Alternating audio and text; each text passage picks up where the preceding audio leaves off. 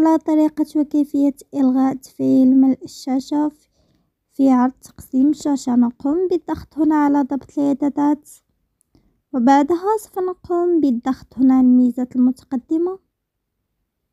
من ثم سوف نقوم بالضغط هنا على المختبرات.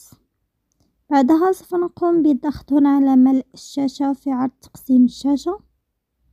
من ثم سوف نقوم بالضغط هنا وبهذه الطريقة نكون قد قمنا بإلغاء تفعيل ملء الشاشة في عرض تقسيم الشاشة. وهكذا نكون قد قمنا بحل المشكلة. ولا تنسوا الضغط على زر لايك